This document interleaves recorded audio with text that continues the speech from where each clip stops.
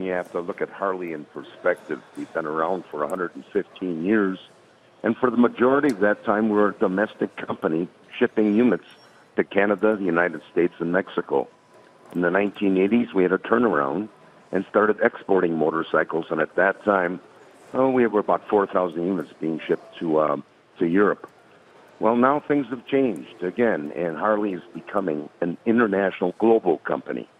And by that, that means having manufacturing facilities throughout the world where there's markets for them. And, and just like Toyota, Honda, Mercedes Benz, and BMW, they've done the same thing, and so has General Motors. So this quagmire we're in, I think, should be in perspective. And you have to remember one thing that the heart and soul of Harley Davidson is its V twin engine potato, potato, potato. Those engines are made by skilled employees in, in Milwaukee, Wisconsin. So I'm not, I don't represent Harley. I've been tired for 15 years. But my estimation is that they'll be shipping engines from Milwaukee throughout the world and having assembly knockdown units in various spots in order to satisfy those marketplaces. So, so when Clyde, when the president says that 100 percent of Harley should be uh, assembled in the United States. When was the last time that actually happened? 100%. Oh, I think back in the 1990s, early 1990s, before we opened up Brazil, or, and and Harley also, um, I've, I've heard, has a facility someplace in Thailand.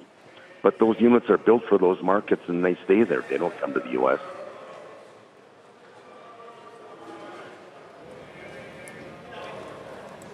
Um, Clyde, Clyde, I, Clyde uh, this is Morgan Brennan. Go ahead, Morgan. I'm actually standing uh, in front of a, a, facility here in Kansas City to report out this story as it's been playing out this week. We're really happy to have you here on the phone for an interview. When President Trump tweets about Harley Davidson in this manner and tweets really sort of at the customers, American customers of Harley Davidson, I realize that there is this diversification strategy underway for the company and international sales are becoming a bigger and bigger piece of the mix. But the U.S. is still the biggest market. You still have this core rider demographic, which in many ways overlaps with the Trump base. How much could that impact sales here in the U.S.?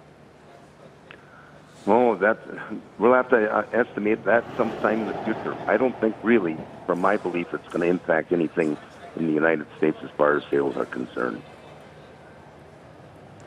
Clyde, uh, tell me culturally, culturally, to follow up on that, how much of that Harley mystique that's so important to the brand itself, though, is rooted here? If there seems to be some sort of conflict inside the U.S. or uh, a stirring up of the U.S. base against the Harley brand, does that affect how Harley is viewed internationally? Um, it could, but if you understand the brand statement of Harley and what Harley is, and it, it's very simple. If you, you know, Harley Davidson uh, creates and provides a motorcycle lifestyle for motor enthusiasts who want their products and services to be symbols of strength, freedom, individuality, Americana, and want to share and participate in the Harley Davidson heritage, tradition, and mystique. That is a global brand, and that's and it's going to appeal to people all over the world, including the United States. Hey there, thanks for checking out CNBC on YouTube. Be sure to subscribe to stay up to date on all of the day's biggest stories. You can also click on any of the videos around me to watch the latest from CNBC. Thanks for watching.